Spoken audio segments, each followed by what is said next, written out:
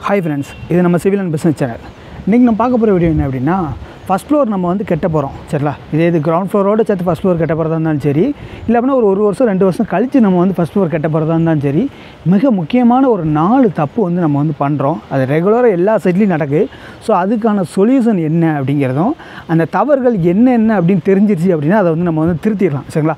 So அந்த தவறுகள் என்னென்ன அப்படிங்கிறது இந்த வீடியோ கொஞ்சம் டீட்டெயிலாக பார்த்துருப்போம். வீடியோ ஸ்கிப் பண்ணாமல் பாருங்கள் கட்டாயம் இது வந்து யூஸ்ஃபுல்லாக இருக்கும். அது இது வந்து ஃபஸ்ட் ஃப்ளோருக்கு சொல்லியிருப்பேன். இது வந்து மோஸ்ட்லி வந்து பார்த்தீங்கன்னா ground floor first floor second floor எல்லாத்துக்கும் வந்து அப்பிக்கலப் ஆகும் அது வந்து யூஸ்ஃபுல்லாக இருக்கும். சரிங்களா? ஸோ அதனால் வீடியோ ஸ்கிப் பண்ணாமல் பாருங்கள் வாங்க வீடியோக்குள்ளே போகலாம்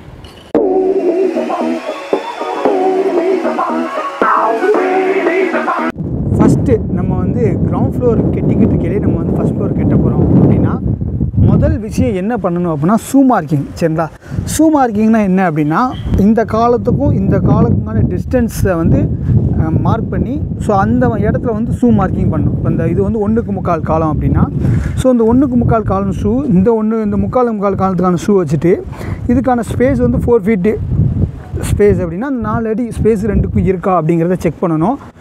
அதுக்கு ஃபஸ்ட்டு வந்து நம்ம வந்து இந்த மூலாமட்டத்தை செக் பண்ணோம் சரிங்களா? ஸோ அந்த இடத்துல நம்ம வந்து ஒரு ஷூ மார்க்கிங் ஷூ வச்சுருந்தோம். அது மாதிரி அந்த முக்கில் ஒரு ஷூ மறிச்சிருந்தோம். அதே மாதிரி அந்த முக்கில் ஷூ வச்சு இந்த கார்னர் 90 டிகிரி வந்து கரெக்டாக இருக்கா அப்படிங்கிறத செக் பண்ணி அதுக்கடுத்து ஒவ்வொரு காலத்துக்கான ஸ்பேஸ் வச்சு நம்ம வந்து ஷூ மார்க்கிங் பண்ணோம் அப்படின்னா நம்ம உள்ள டைல்ஸ் விட்டுருந்தோம் பார்த்தீங்களா ஸோ அந்த டைல்ஸ் வந்து பார்த்திங்கன்னா கரெக்டாக இருக்கும். நீங்கள் அப்படி மூலாமட்டத்தை செக் பண்ணி பண்ணலை அப்படின்னா டைல்ஸ் வந்து பார்த்திங்கன்னா ஒரு இடத்துல வந்து இப்படி கொஞ்சம் க்ராஸாக போகும். அதனால் வந்து ஒரு இடத்துல வந்து ஒரு ஒரு ஒரு டைல்ஸ் கொடுத்த இடத்துல வந்து அங்கே வந்து ஒரு இன்ச்சு ஒன்றரை இன்ச்சு கூட விழலாம் சரிங்களா? டைல்ஸ் ஸோ அந்த டைல்ஸ் வந்து நமக்கு வந்து பார்க்க வந்து நீட்டாக இருக்காது.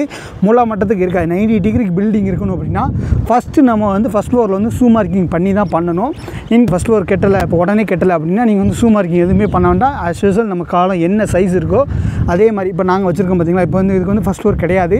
ஸோ நம்ம வந்து காலத்தை என்ன இருக்கோ அதே மாதிரி கைப்பிடியை கட்டி நம்ம வந்து சைடில் பூரா பழக ஏன்னா பலகை அடித்து நம்ம வந்து காங்கிரீட் போட்டு நம்ம வந்து பண்ணால் தான் அந்த பிரிக்கோடு அது வந்து பிடிமானம் கிடைக்கும் சரிங்களா? இதே இது நீங்கள் பலகை அடித்து நம்ம வந்து பாக்ஸ் போட்டு காங்கிரீட் போட்டு நீங்கள் வந்து பிரிக்கு போட்டிங்க அப்படின்னா அதை வந்து வரி வச்சு நம்ம வந்து போடுறது மாதிரி இருக்கும். ஸோ அதை விட நம்ம வந்து கிரவுண்ட் ஃப்ளோரில் வந்து நம்ம வந்து சேர்த்து நம்ம ஃபஸ்ட் ஃப்ளோர் கெட்டலை அப்படின்னா நீங்கள் வந்து இந்த மாதிரி கைப்பிடி கெட்டிலேருந்து நல்லது கெட்டிட்டு அதுக்கடுத்து நீங்கள் பலகை அடித்து காங்கிரீட் போடுறது பெஸ்ட்டு சரிங்களா? ஸோ அந்த மாதிரி நம்ம வந்து பலகை அடித்து காங்கிரீட் போட்டுக்கலாம். அடுத்து நம்ம வந்து கெட்டி முடிச்சாச்சு. முடிச்சதுக்கப்புறம் நம்ம ஃபஸ்ட் ஃப்ளோரை வந்து எக்ஸ்டெண்ட் பண்ண போகிறோம் ஒரு ஒரு வருஷம் கழிச்சு ரெண்டு வருஷம் கழிச்சு. அப்போ நம்ம என்ன பண்ணலாம் அப்படின்னா இந்த காங்கிரீட்டை பூரா பிரேக் பண்ணி ஸோ அந்த காங்கிரீட் எங்கெங்கெல்லாம் நம்ம வந்து காங்கிரீட் போட்டிருக்கோமோ அந்த காலத்தில் உள்ள காங்கிரீட்லாம் பிரேக் பண்ணி அந்த காலத்தை நம்ம வந்து அந்த சைஸுக்கு ஏற்றாப்புல அட்ஜஸ்ட் பண்ணிக்கணும். இப்போ உதாரணத்துக்கு வந்து பார்த்திங்கன்னா இப்போ இதுக்கும் இதுக்குமான ஸ்பேஸ் வந்து பார்த்திங்கன்னா ஒரு பத்து அடி. இதான் அந்த ரூம் சைஸு ஸோ இந்த பத்து அடி அப்படின்னா இந்த காலத்துக்கும் இந்த காலத்துக்கான ஸ்பேஸை கரெக்டாக வச்சு ஸோ அந்த பத்து அடியை நம்ம வந்து டேப் பிடிச்சி மெஷர் பண்ணி அந்த சு காலத்தை எல்லாம் மா கரெக்டாக அந்த பாக்ஸை வந்து ஓரியன்டேஷனாக வச்சுக்கணும் அடுத்து நம்ம பாக்ஸ் போடையிலே ஏழு அடிக்குனா அப்போ வந்து நம்ம வந்து என்ன பண்ணணும் அப்படின்னா இதை வந்து ஒரு ஒரு அடி கூட உடச்சிக்கணும். செங்கலையும் ஒரு ஒரு ஒரு அரை அடிக்கு பாக்ஸ் மட்டும் மாதிரி. ஸோ அந்த பக்கமும் ஒரு அரை அடி. எங்கெங்கெல்லாம் காலம் வருதோ அந்த செங்கலையும் ஒரு அரை அடிக்கு சேர்த்து உடச்சிட்டு ஸோ அந்த பாக்ஸை மாட்டணும். அந்த பாக்ஸுக்கான ஸ்பேஸிங் வந்து பார்த்தீங்கன்னா கரெக்டாக இருக்கா அப்படிங்கிறத செக் பண்ணிக்கணும் சரிங்களா? ஸோ இதுதான் நீங்கள் பில்டிங் முடித்ததுக்கப்புறம் நீங்கள் வந்து இந்த ஷூ மார்க்கு கரெக்ஷன் பண்ண வேண்டியது. அடுத்து ரெண்டாவது வந்து மிக முக்கியமானது என்ன அப்படின்னா இந்த ஸ்டீல் சரிங்களா? இந்த ஸ்டீலை வந்து என்ன நம்ம பண்ணணும்? நம்ம வந்து கிரவுண்ட் ஃப்ளோர் முடிச்சிட்டோம். ஃபஸ்ட் ஃப்ளோர் கெட்ட போகிறோம் கொஞ்ச நாள் கழிச்சு அப்படின்னா ஒரு ஒரு வருஷமோ ரெண்டு வருஷம் கழித்து கெட்ட போகிறோம் அப்படின்னா இந்த ஸ்டீலை வந்து நம்ம வந்து கைப்பிடியோட கட் பண்ணிடக்கூடாது. சரிங்களா? அதுக்கு நம்ம வந்து என்ன பண்ணணும் அப்படின்னா எக்ஸ்ட்ரா நம்ம யூஸ்வலாக நம்ம வந்து எப்படி நம்ம வந்து ராடை கட் பண்ணுவோம்? நம்ம யாருனே நிறைய வீடியோவில் சொல்லியிருக்கோம். இருபத்தி பதினெட்டு அப்படிங்கிற மாதிரி கட் பண்ணணும். ஏன்னா மோஸ்ட்லி நம்ம வந்து ரெசிடென்ஷியல் பில்டிங் வந்து பதினாறு எம்எம் தான் போடுதோம் பதினாறு எம்எம் அப்போ போகல ஸோ அதனால் நம்ம வந்து இருபத்தி ரெண்டு அடி ஒரு ராடும் இன்னொரு ராடு வந்து பதினெட்டு அடியும் இருக்கிற மாதிரி நம்ம வந்து கட் பண்ணணும்னு சொல்லியிருக்கோம். ஸோ அந்த மாதிரி நம்ம வந்து கட் பண்ணல அந்த மாதிரி நம்ம வந்து ராடை வந்து மேலே வந்து எக்ஸ்டெண்ட் பண்ணிடணும். இப்போ கைப்பிடிக்கு மேலே இந்த இப்போ இந்த ராடெலாம் பார்த்திங்கன்னா கைப்பிடிக்கு மேலே இருக்குது ஸோ இந்த மாதிரி பண்ணணும். ஏன்னா இந்த மாதிரி பண்ணால் தான் நம்மளுக்கு வந்து பார்த்திங்கன்னா அந்த ரெயின்ஃபோர்ஸ்மெண்ட் வந்து ஒரே இடத்துல பிரேக் ஆகாது. இதே இது நீங்கள் வந்து இந்த கைப்பிடி வரைக்கும் நீங்கள் வந்து கட் பண்ணிட்டீங்க ராடை வந்து ஃபுல்லாக கட் பண்ணிட்டீங்க அப்படின்னா நீங்கள் அடுத்து வைக்கிற ரேப்பு எல்லாமே இந்த நாலு பாயிண்ட் உங்களுக்கு வந்து வீக் ஆயிரும். சரிங்களா? நம்மளோட செக்ஷன் பிரகாரம் வந்து பார்த்திங்கன்னா ஒரு பாதி போர்ஷன் வீக்கு இன்னொரு பாதி போர்ஷன் வந்து அடுத்த இதில் போயிட்டுனா இந்த இடத்துல வந்து பார்த்திங்கன்னா இந்த இடம் எந்த ஜாயிண்ட் இடத்துனாலும் வந்து வீக் போர்ஷன் தான். சரிங்களா? ஜாயிண்ட் பூரா நம்ம எப்படி இப்போ ஒரு எலும்பை வந்து ஜாயின் பண்ணுறோமோ அந்த இடத்த நம்ம எப்படி வீக் போர்ஷன் அப்படிங்கமோ அதே மாதிரி நம்ம செக்டரில் பொறுத்த வரைக்கும் ரெயின்ஃபோர்ஸ்மெண்ட் எந்த இடத்துல ஜாயின் பண்ணுறோமோ அது வந்து வீக் போர்ஷன் தான். ஸோ நீங்கள் வந்து டாப்பாக நீங்கள் வந்து இந்த கைப்பிடி லெவலுக்கு நீங்கள் வந்து கட் பண்ணிட்டீங்க அப்படின்னா இந்த நாலு ராடு உங்களுக்கு வந்து வீக் போர்ஷன் ஆயிரும். ஸோ அந்த மாதிரி வீக் போர்ஷன் ஆகக்கூடாது அப்படின்னா நீங்கள் ரெண்டு ராடை வந்து ஒரு ஒரு ஜாயிண்ட்டும் இன்னொரு ரெண்டு ஆடு வந்து பார்த்தீங்கன்னா ஒரு கொஞ்சம் தள்ளி ஒரு அடிக்கு தள்ளி குறைஞ்சது மினிமம் வந்து ஒரு அடி இருக்கணும். ஸோ அந்த ஒரு அடிக்கு தள்ளி நம்ம வந்து அடுத்த லேப் வந்து ஜாயிண்ட் வந்து ஸ்டார்ட் ஆகாத மாதிரி இருக்கும். இப்போ உதாரணத்துக்கு வந்து பார்த்திங்கன்னா இந்த இடத்துல நம்ம ஜாயிண்ட் கொடுப்போம் அப்படின்னா அடுத்த ஜாயிண்ட் வந்து ஒரு அடிக்கு தள்ளி தான் நம்மளுக்கு அந்த பாட்டம் ரெயின்ஃபோர்ஸ்மெண்ட்டே இருக்கணும். ஸோ அந்த மாதிரி நம்மளுக்கு வந்து டிஸ்டன்ஸ் கொஞ்சம் தள்ளி இருந்தது ஒரு அடிக்கு மேலே இருந்தது அப்படின்னா நம்மளுக்கு அது வந்து செக்டர் வைஸ் சேஃப் தான் சரிங்களா? ஸோ அதனால் நம்ம வந்து பண்ணுறோம் இன்கேஸ் நான் அது பண்ணலை நான் வந்து பார்த்திங்கன்னா கைப்பிடியோட கட் பண்ணி விட்டுட்டேன் அப்படின்னா அதுக்கு சொல்யூஷன் கிடையாதா அப்படின்னா அதுக்கும் கட்டாயம் இருக்குது அதுக்கு நம்ம என்ன பண்ணணும் அப்படின்னா அந்த ராடை பூரா வெல்டு வச்சிடணும் சரிங்களா?